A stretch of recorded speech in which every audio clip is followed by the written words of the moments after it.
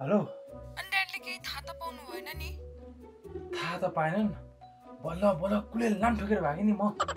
के भन्नु भएको थियो म त डाङ डुङ भनेर भागेँ नि। एकछिन मेरो ड्याडी आएछ है एकछिन। कस्तो ताल्ने बेतालको मान्छेहरू आएर बसेको रहेछ तल मित्र जाति भनेर त्यो पनि रातिको समयमा। छोरी तिमी होस पुऱ्याएर बस्ने गर है। चुकु चुकु लाएर।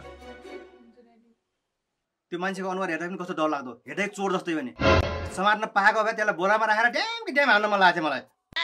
अनि ड्याडी तपाईँ त भोलि मात्र फर्किनु भन्नुभएको थियो त। आजै आउनु भएछ मेरो आज काम कुरो भएन त्यही भएर फर्केको। अनि हेर कस्तो फोहोर गरेर राखेको होला। अनि के ज्याकेट स्याकेट त्यतिकै राखेको रहेछौ अँ, मैले चाहिँ खाना खाएर आइसकेँ। तिमी खाना खाएर सुत है?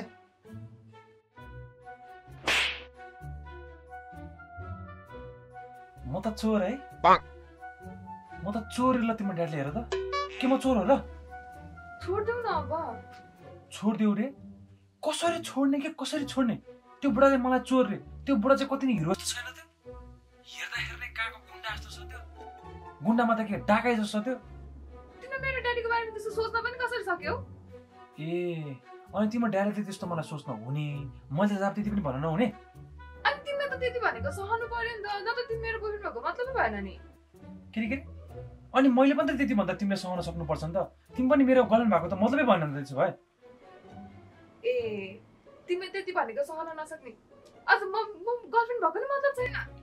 ठिक छ ठिक छ। त्यसो भए लेट्स ब्रेकअप